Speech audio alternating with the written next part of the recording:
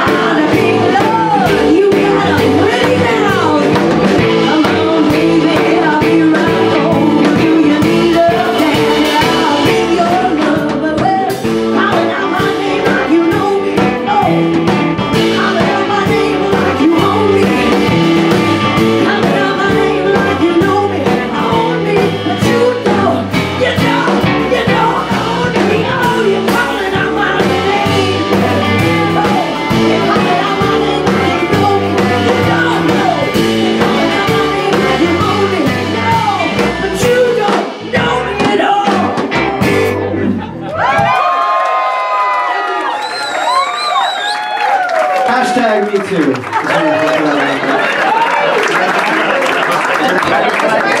I did,